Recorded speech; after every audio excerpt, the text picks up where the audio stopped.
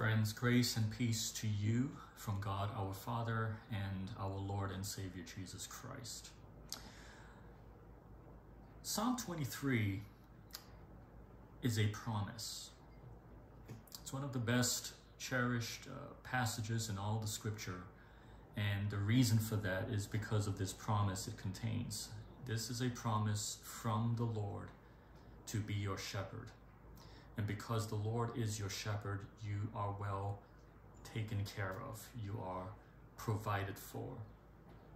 You lack nothing.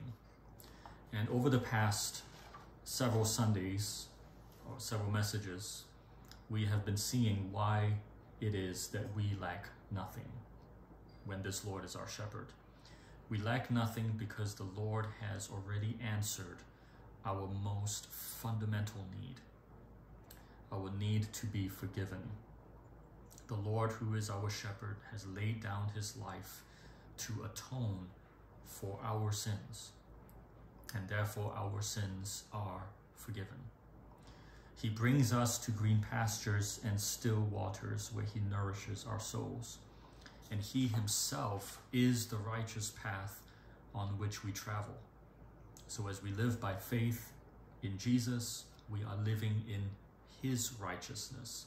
We are living out of his life. And in the process, we are instructed by his word, conformed into his likeness. So when verse 3 talks about the shepherd leading us in paths of righteousness, it's pretty much saying the same thing that Paul would say in Colossians 2 as you received Christ Jesus the Lord, so walk in him. And that prepares us for what we're about to read today in verse 4. Psalm 23 verse 4 is the reason why this psalm is so popular at funerals. It talks about death, and it also tells us why we should not fear death. And as we listen to God's word explained, the Holy Spirit is going to open our hearts and minds to receiving the promise that verse 4 has for us. So, to uh, frame our understanding of verse 4, uh, one thing that might stand out to us as we get into verse 4 is that it continues on this idea of leading and walking that has been developing throughout the psalm. In verse 2, it says, The Lord leads me beside still waters. And then in verse 3, He leads me in paths of righteousness. And now in verse 4, it is implied that the Lord is the one leading us through this valley of the shadow of death. And right there is a promise. If the Lord is leading us through this valley, it's obvious that He is the one who will lead us out of it. In fact, He will lead us out of it. So, right here already is a promise for us that as the Lord leads us in this valley, He will bring us out of it. So, the question is what is this valley of the shadow of death? In the case of David, uh, who was the author of the psalm, the valley of the shadow of death may be a reference to that season in his life when he was being pursued and hunted by his enemies, especially his rebellious son Absalom. In our case, the valley of the shadow of death refers to that moment or any moment in our lives when we feel closest to death. It could be the death of a loved one, a dear friend, it might even be our deaths. But since you and I never really know when our lives can be taken from us in this world, it's fair to say that the valley of the shadow of death covers our entire experience of life in a fallen world. The Holy Spirit wants us to see this world, our worldly existence, as a valley of death shadow. Why? Because in this world, we're always subjected to mortality. The moment we step out of the door on any given day, there is always a risk of injury. There is always the possibility of death. Jesus himself says, in this world, you will have tribulation. And not to make light of real bodily death or, or real injury, physical injury. We also experience death in lesser ways, don't we? We experience death, for instance, uh, when a relationship does not work out, or when our dreams, our plans are brought to a, uh, an end for one reason or another. Those are all little versions of death. Why? Because they all remind us, they all have a way of bringing us back to the awareness that we are dust and ashes, to use Abraham's phrase. And just as we cope with sin in all kinds of different ways, we also have our own ways of coping with the great shadow, don't we? I'm not going to be comprehensive here, but just to point out one major way that many of us cope with the reality of death is by trying to get out of this world as much as we can, living life to the fullest. And you know all the phrases that come in, right? Uh, uh, live life uh, to the best you can. Uh, uh, be the, the be all that you can be. Seize the day, right? Those are some ways uh, that we cope with, with the awareness of death. And that's why some people have bucket lists. Uh, that is why we surround ourselves as much as we can with the good things in life. Uh, that is why we want all kinds of wonderful experiences and more money to have those experiences. In a way, those things keep us sane. They also keep the awareness of death. They are our attempts at keeping the awareness of death at a distance. But as you and I know, all it takes, again, is for something to remind us of death. Maybe a phone call, maybe something we read about in the news, and that shadow clouds our hearts again. We're brought back into that dark valley. And we remember how fragile we are. But what is God doing now as He gives you this psalm? as God brings Psalm 23 into your awareness, God is intervening in your mind at this moment. His word is like a blast of light that breaks the darkness. It's like a bolt of lightning that lights up the sky. And all of a sudden, we're able to see clearly again. We can see that we are being led through this valley by someone who knows what he is doing. You and I are not alone in this valley. We are being led through it by none other than the Good Shepherd himself. The Good Shepherd who is the Lord of heaven and earth, our Savior Jesus Christ. He has defeated our deaths. And he is now leading us through this valley to a new land, a new reality where there are not going to be shadows anymore. It's going to be only light, only green pastures, only life. And when this awareness connects with our hearts, when, when, or, or when this word connects with uh, our hearts, uh, our minds, it draws out from us a confession of faith we are able to say, I will fear no evil. I don't have to be afraid of anything any longer. Even though something bad could happen to me today, I'm not going to live in fear. I will fear no illness. I will fear no pestilence. I will fear no enemy. I will fear no demonic power. I will fear no opinion of man. I'm not going to be afraid when laws or politics change for the worse. I will not fear the loss even of my earthly hopes and dreams. I'm going to be okay even if I don't get the life that I want. And when the time comes for me to leave this world, I will go without regret. I will not be afraid to draw my final breath.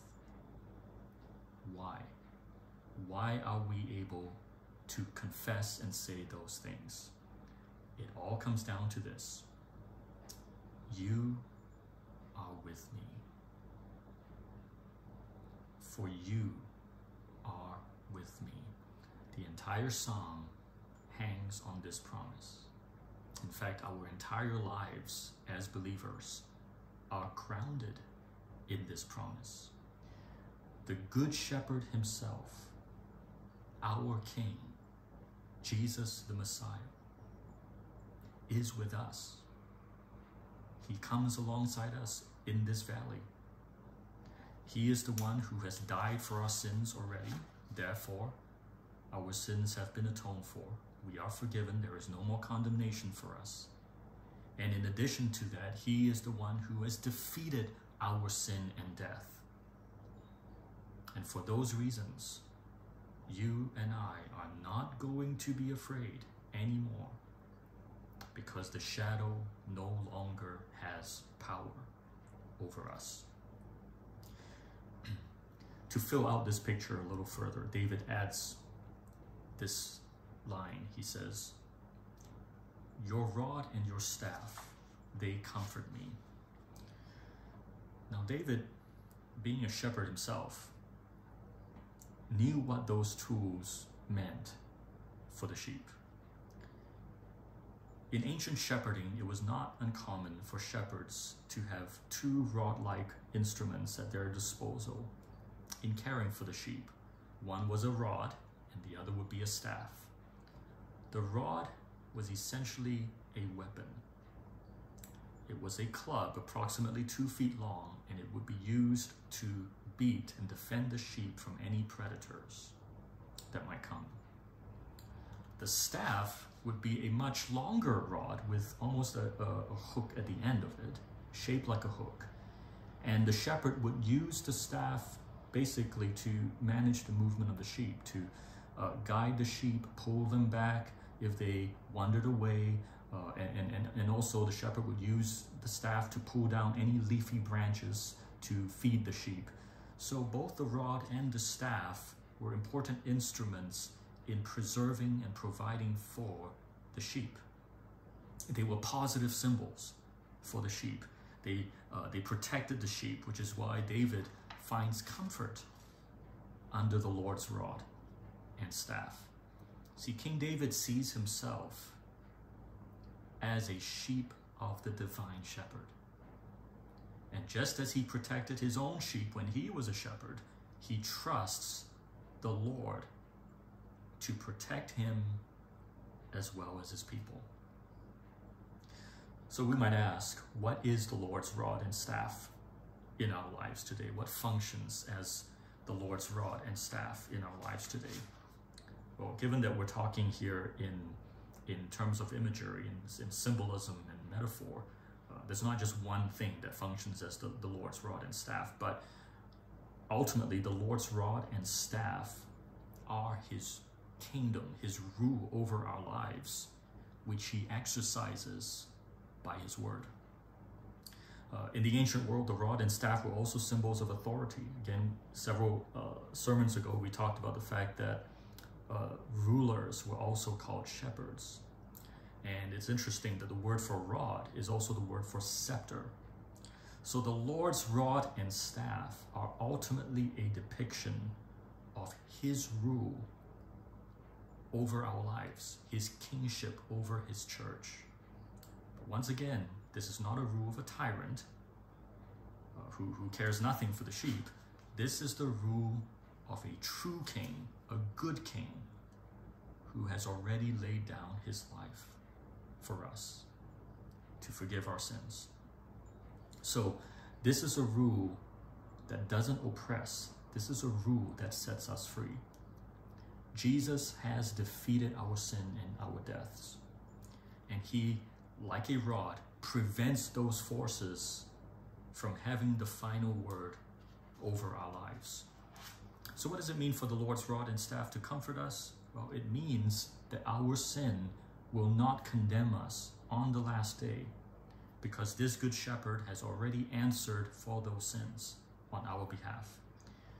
Uh, he has given his life as an atonement, and that atonement is perfect, it is complete, there's nothing more to be answered for. Justice has been completely served for you by uh, Christ Himself, God's very own Son.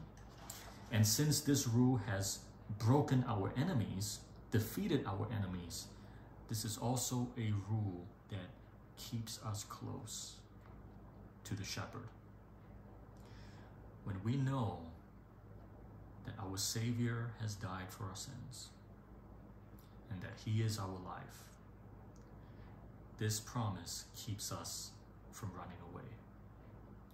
It prevents us from leaving the fold. Just as a shepherd uses his staff to pull his sheep back from harm, the Lord, using his word, pulls you back to himself. And this is exactly what happens every Lord's Day when we come to the worship service listening to the word. This is exactly what happens also when you read the word uh, in your own personal worship. The Lord uses his word and his spirit to pull you back from the brink of death, pull you back into the fold, keeping you in the faith. And as he does that, he causes us to find our righteousness in him. So what Psalm 23 verse 4 is showing us is the power of Christ's kingdom over our lives. This is the same promise that we find in Colossians chapter 1. And Colossians 1, Paul says, speaking about God, He has delivered us from the domain of darkness and transferred us to the kingdom of His beloved Son. Amazingly enough, you have been saved from the kingdom of death. You have been delivered from this valley. You have been set free from the power of death by God the Father in Jesus Christ Himself. When the Lord raised Jesus from the dead, He pulled all of us out from the dead in Christ. He ripped us out of the clutches of death in the resurrected body of His Son. And that is why, even though you journey through this valley now in this life, our bodies are still subjected to the power of death in this life. Ultimately speaking, we're no longer here. We've been pulled out. We've been raised from the dead in our Lord Jesus Christ. And on the last day, our bodies will finally catch up with that reality when God Himself summons us from the dead, intact with our bodies, to inherit an eternal kingdom. This is the promise of the Lord to you. Let's cling to it. Heavenly Father, we thank you for your word and how your word, like a rod, defends us from our enemies, and how your word, like your staff, pulls us back into the faith whenever we run away. Father, let your word dwell in our hearts and let your word keep us faithful to our Savior, Jesus Christ, to whom we pray. Amen. And now, once again, receive the Lord's promise in this benediction. The grace of the Lord Jesus Christ, and the love of God, and the fellowship of the Holy Spirit be with you and your family.